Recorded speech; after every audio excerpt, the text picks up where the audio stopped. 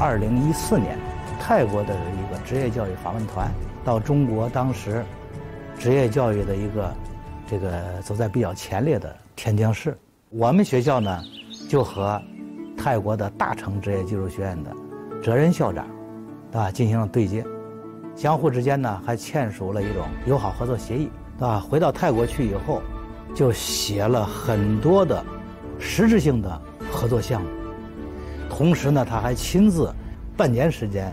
来到学校两次，我们十分感动。这种真心实意，确实也打动了我们，啊。于是呢，我们也想着到他们学校去看一看。